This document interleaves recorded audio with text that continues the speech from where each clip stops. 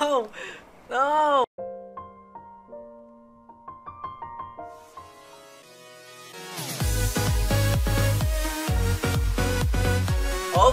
Và yo các bạn, mình là Hắc Gamer đây và chào mừng các bạn đã đến với cái kênh của mình cái thì trong video này mình sẽ tiếp tục với cái tựa game mình chơi các bạn ơi. Thì chủ đề hôm nay là mình sẽ hướng dẫn cho các bạn một cái cách để các bạn có thể cướp full thời gian full time. Bạn sẽ cướp và cướp và cướp và bạn sẽ không có thời gian để mà nghỉ. Thì mình nghĩ là theo cái cách này bạn sẽ cướp được một triệu money cực kỳ nhanh. Thì những ngày trước mình đã có cày cái tựa game sau cách này đã kiếm được một mét money mà chưa tới một ngày các bạn ơi. Thật sự mà nói thì mình đã kiếm được một triệu money trong tựa game này chỉ mất có 5-6 tiếng thôi. Và mình đã mua được một chiếc xe tải và người bạn mình cũng vậy thôi. Sẽ nói chi tiết khi mình bắt đầu video. Vì thế mà bây giờ mình nghĩ mình cũng sẽ không tốn nhiều thời gian của các bạn nữa và đừng quên là để lại cho mình một like, một share, subscribe nhé. Còn bây giờ thì chúc các bạn xem video vui vẻ. Let's go! Ok, và cái điều đầu tiên mà mình muốn cho bạn biết là bạn phải chuẩn bị cho mình vài thứ ha. Đầu tiên là bạn phải chuẩn bị cho mình một cái server vip trong cái tựa game trao cách đó. Bạn sẽ bỏ ra 200 cái bút để mà mua. Cái thứ hai là bạn phải chuẩn bị cho mình vài cái game pass. Một là cái game pass túi lớn, hai là game pass vip. Thì hai game pass đó sẽ có công dụng là tăng tiền cho bạn hơn. Nhưng mà vip thì nó sẽ hơi mắc, bạn ơi, tới một nghìn cái bút vì thế bạn cũng không cần thiết phải mua nó. Mà chỉ chuẩn bị cho mình một cái game pass ở túi lớn thôi, thì bạn sẽ bỏ ra 300 cái bút để mà mua. Ok, cái thứ ba là bạn phải chuẩn bị cho mình là một người bạn của các bạn ha. Và người bạn của bạn phải hiểu bạn và phải bờ luôn thì mới làm thành công được cái cách này. Vì nó rất là bờ chỉ dành cho bờ thôi. Bạn nếu là bạn là bờ thì bạn sẽ rất là easy ha. Ok và cái điều cuối cùng là bạn sẽ xem một cái quy trình mà mình đã soạn sẵn. Đây là chính là cái kinh nghiệm mà mình đã chơi trong cái tựa game mà soi cách ha. Ok, bạn sẽ làm theo cái mũi tên thì bạn sẽ xe lửa này, phải không? Rồi tìm đá quý, rồi bảo tàng, rồi xe lửa tiếp, rồi nhà băng, rồi bảo tàng. Rồi tiếp tục nó lại quay xe lửa tiếp thì bạn cứ làm theo một cái cái vòng lãnh quẩn này thì bạn sẽ cướp full thời gian. Bạn sẽ không có thời gian để mà nghỉ. Và đó là cái cách mà mình đã nghiên cứu trong thời gian gần đây ha, vì mình đã bắt đầu hết cái chơi này từ khi mà nó ra xuất hiện cái bảo tàng. Ok, còn bây giờ thì bắt đầu thôi nào, let's go. Ok, như bạn thấy mình đã vào game hay vào đây là một cái server vip ha các bạn ơi. Tức là không ai vào được hết ngoại trừ người bạn của bạn thôi. Và vào game người bạn của các bạn phải chơi cảnh sát ha và bạn phải lấy cái khi card trước khi bạn đi cướp. Thì nếu như người bạn của bạn mà bên thành phố á nếu mà spam ngoài thành phố thì bạn sẽ lấy uh, thì cái người đó sẽ lấy trực thăng và bay vào đây để mà đưa cho bạn cái khi card rồi lấy trực thăng đó mà bay đi luôn ok? Nếu mà ở đây thì bạn sẽ lấy khi mà bạn sẽ đi vào trong mà lấy trực thăng. Mình nghĩ là người bạn của mình đã đi phát ủa ngoài ngoài thành phố rồi rồi sau khi bạn lấy cái khi xong bạn sẽ lập tức vào đây và bạn sẽ đi lên lầu. Phán trước khi lên lầu bạn sẽ lấy cho mình một cái skin và một cái súng lục ha ok? Bây giờ mình sẽ lên lấy trực thằng và người bạn lúc này của bạn sẽ vào bên tù nhân để có thể hai người đi cướp chung với nhau.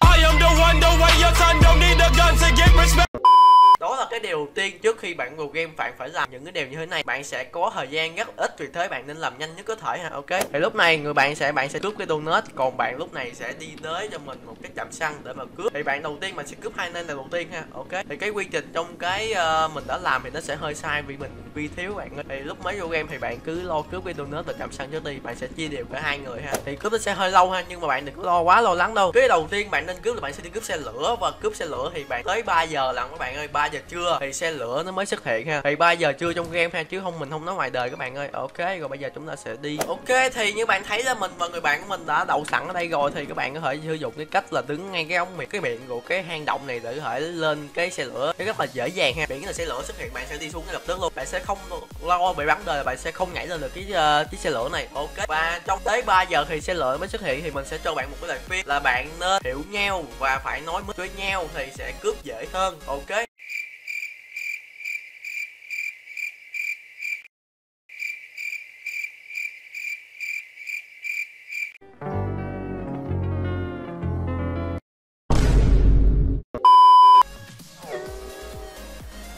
Như bạn thấy là xe lửa đã xuất hiện và bạn sẽ lập tức đi xuống cho mình ha. Ok, bạn nên ờ, rút ngắn cái thời gian bạn đi cướp xe lửa càng nhanh càng tốt cho mình. Ok, bạn sẽ chọn cái to này. Bạn nên cướp chung ờ, hai người chung một cái to, một người sẽ đặt vô một cái cửa này, còn người thứ hai sẽ mở cửa ngoài để mà thoát hậu thoát ok, bây giờ chúng ta sẽ một nước.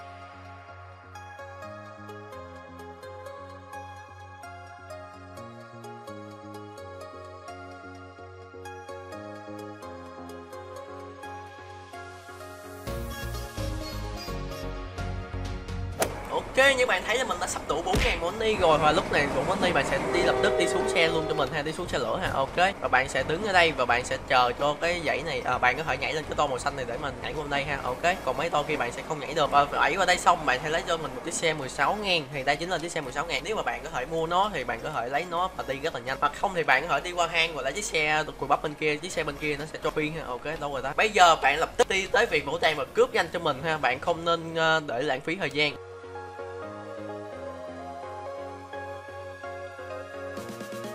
Thì bây giờ một cái mẹo dành cho bạn là nếu bạn lái xe vào đây xong bạn sẽ đậu xe đây và bạn nhảy lên đây và cướp liền luôn. Bạn không cần phải đi đường vòng luôn rất là mất thời gian. Ok lúc này bạn sẽ nhảy lên đây. Thì nếu như bạn đi trước người này thì bạn sẽ ờ, đặt bơm bên đây ha. Ok và lúc này bạn sẽ cầm cho mình một cái súng côn và nhảy xuống lập tức cho mình bắn một cái kiến này và và cướp cho mình. Ok đó là cái cách mà cướp cực kỳ nhanh ha. Nếu mà bạn có game thì bạn sẽ cướp được 8 kg bạn chỉ cần cướp ba món này thôi là bạn sẽ được uh, tổng cộng được 8 kg ha.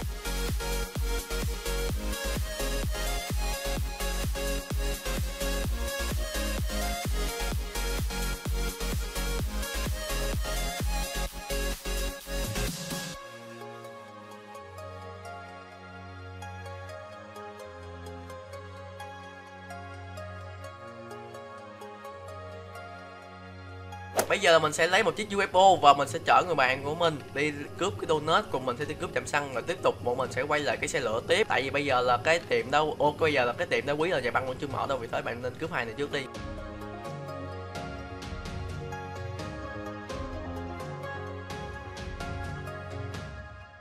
Thì trong thời gian này bạn sẽ đợi xe lửa khá là lâu đó các bạn ơi, nhưng mà bạn bắt buộc phải đợi thôi. Nếu mà bạn bây giờ mà đi cướp đó, bạn thấy là vào lúc 12 giờ đêm là xe lửa sẽ xuất hiện ha thì cứ áp dụng cái cách cũ như lúc nãy mình đã nói thôi, cướp xe lửa, bạn sẽ cướp chung hai to một người sẽ mở cửa, một người sẽ mở cửa kia, các kiểu các bạn sẽ cướp.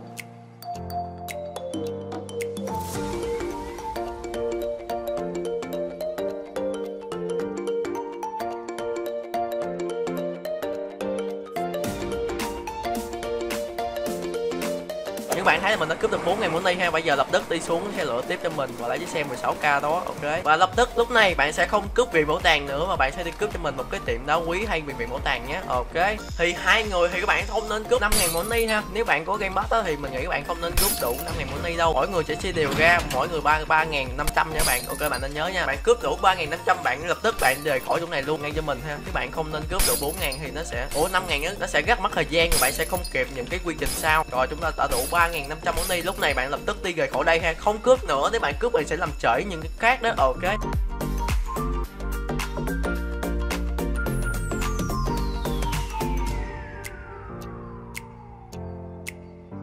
Và đây là một cái mẹo teleport mình muốn dành cho bạn. Bạn cứ nhảy lên cái chỗ này cho mình ha. Ok, nhảy lên chỗ này cho mình là bạn sẽ tự động spam ra đây.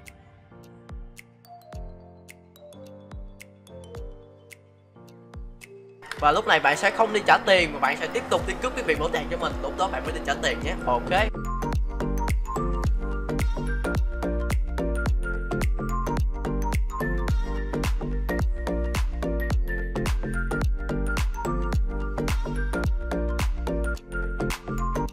Còn người bạn của mình thì mình vẫn nói nữa thì cái người bạn của bạn sẽ đi cướp hai cái bức tranh.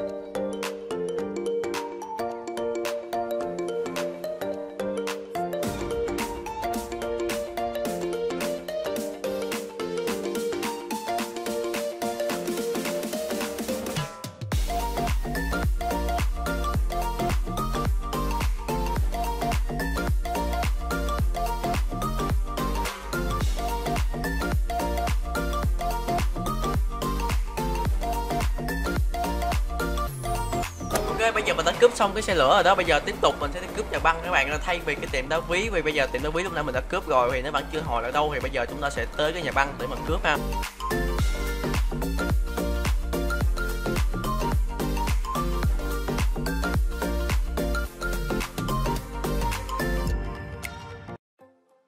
Khi bạn đã cướp nhà băng xong rồi thì bây giờ bạn sẽ tiếp tục đi cướp cái viện bảo tàng cho mình. Và lần này bạn phải cướp nhanh hơn lần trước nha, tại vì nhà băng nó rất là lâu hơn cái tiệm đá quý bạn ơi. Tiệm đá quý bạn chỉ cần cướp ba nghìn năm trăm món đi, bạn sẽ gặp đứt rồi. Hỏi đó và đi cướp bảo tàng thì cái nhà băng thì nó lâu hơn cái việc cái đá quý. Vì thế bạn nên cướp cái bảo tàng trong vòng là 25 giây cho tới 30 giây ha. Để trung bình mình cướp thì chỉ cỡ 20 giây tới 25 giây thôi, ok?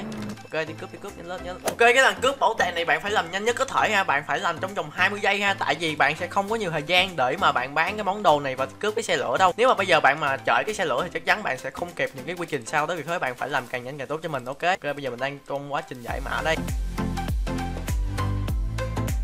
Ok, thì bây giờ bạn sẽ về căn cứ càng nhanh càng tốt cho mình và bán những cái số tiền này để mà bạn đi cướp xe lửa và tiếp tục đi cướp tiệm đá quý hả bạn ơi? Ok.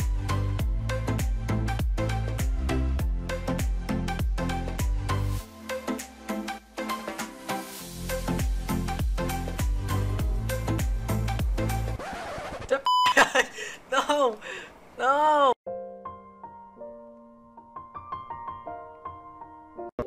Nhưng mà nếu mà trong quá trình bạn cướp á, và nếu bạn, người bạn của bạn mà bị chết thì bạn cũng đừng quá lo lắng đâu. Tại vì người giữ cái khi mà chết thì lúc đó mới là quan nghiêm trọng đó. Và nếu mà bạn, người bạn của bạn đã lỡ chết rồi thì bạn kêu các bạn bạn hãy đợi trong cái tiệm đá quý luôn. Không cần cướp xe lửa nữa, bỏ qua đợt này đi, lần sau hãy cướp, ok?